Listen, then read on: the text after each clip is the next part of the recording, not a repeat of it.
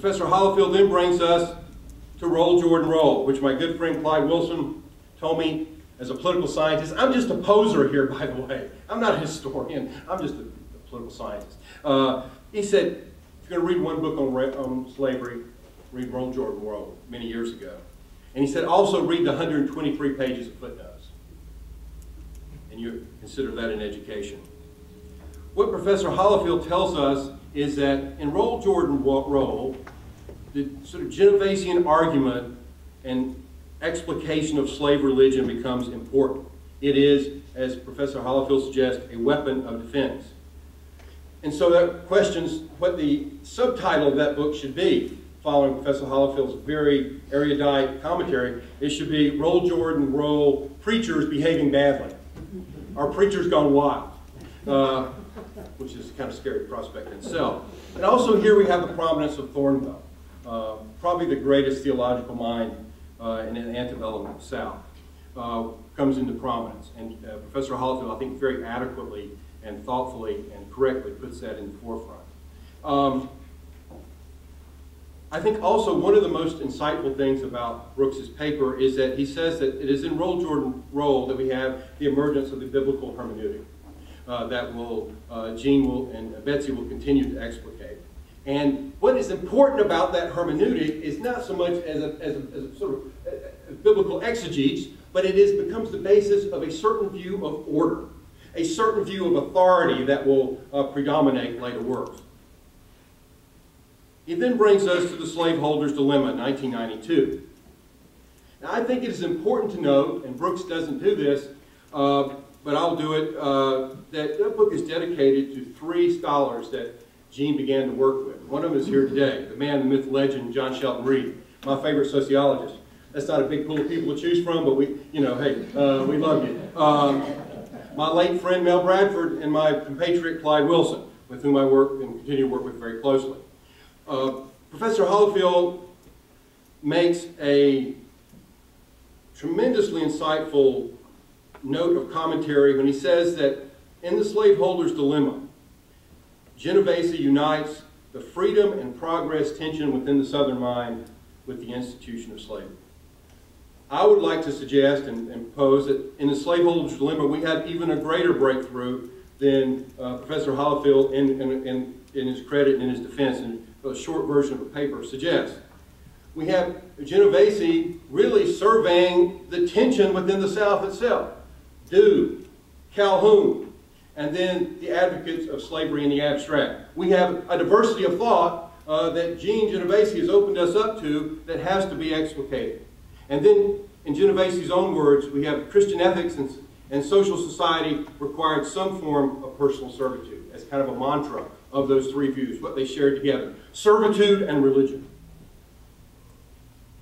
And then we have The Consuming Fire, 1998, where I think Professor Holifield correctly suggests we have the great depth of, of the religious dimension of the slave system. We also have, I would say, go even further and suggest that we have Professor Genovese looking in a circumspect way on other challenging parts of social and political life in antebellum United States. In fact, discussing the immediatism of abolitionism. Um, and then ultimately looking at the critics of Northern free, the free labor system and basing those criticisms with many, as well as many others, on scriptural basis. And of course, we have then what is what will become the great trilogy, um, the mind of the master class, the mind of the master class, and it, the sheer uh, uh, collection of insight of those works. So I think these would be some questions and some issues I raise in terms of the fundamental text that Professor Holifield has very thoughtfully and very uh, correctly summarized. And then I'd like to raise a few questions about uh, the interpretation of the Genovesian corpus. The first is about the notion of the dialectic itself. Now, as a Southern conservative, I don't find the dialectic all that appealing.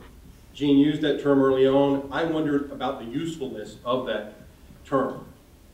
It's certainly not the Platonic sense of the dialectic as an argument. There's no dialogical element uh, particularly explicit. And, and, of course, Professor Holifield raises these caveats. So my question is not really necessarily for you, Brooks, but in, in writ large. Uh, it's certainly not a Kantian. There's no logic of illusions, premises founded on false assumptions that continue to resolve themselves. It's certainly not Hegelian uh, as it develops over time, but sort of the negation of the negation.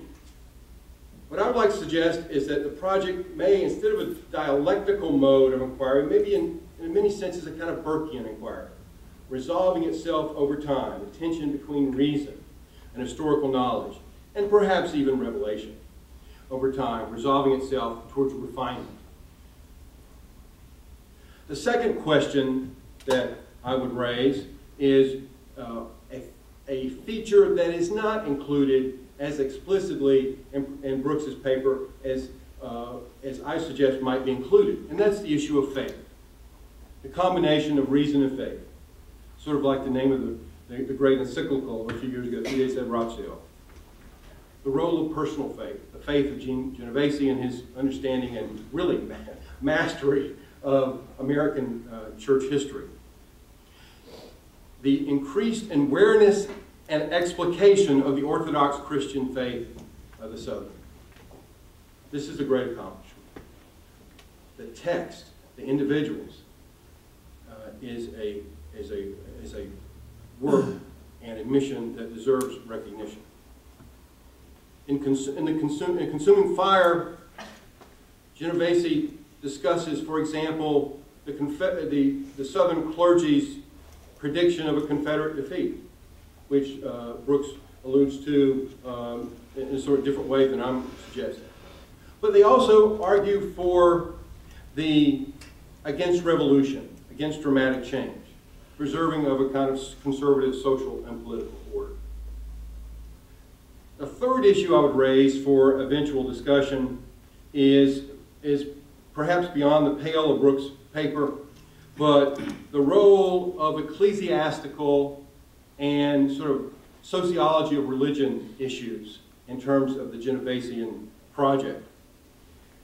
For example, the role of scale,